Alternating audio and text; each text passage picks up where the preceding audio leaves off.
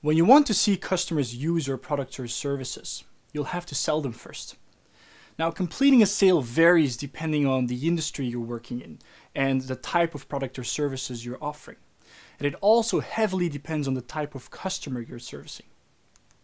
And that's because you can sell your products and services directly to a consumer, which is called a B2C or a business to consumer company. But you can also sell your products and services to another company, which is then called a B2B or business to business. Now, there's a third type where you offer your products and services to a public entity or a government agency. And that's what we call a B2G company or a business to government. Keep in mind that these three different sales processes have entirely different sales dynamics.